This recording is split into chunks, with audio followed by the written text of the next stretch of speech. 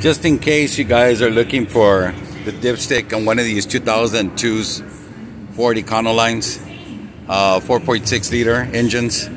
Um, here's a air filter. Here's a computer.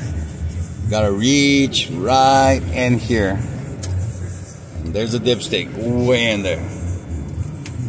Okay.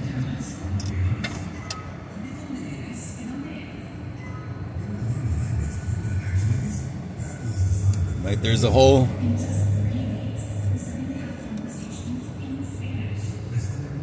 You see the hole is way down there.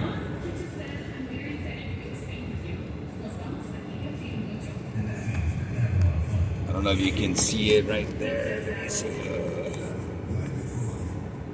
there's the hole. Stick it right back in there.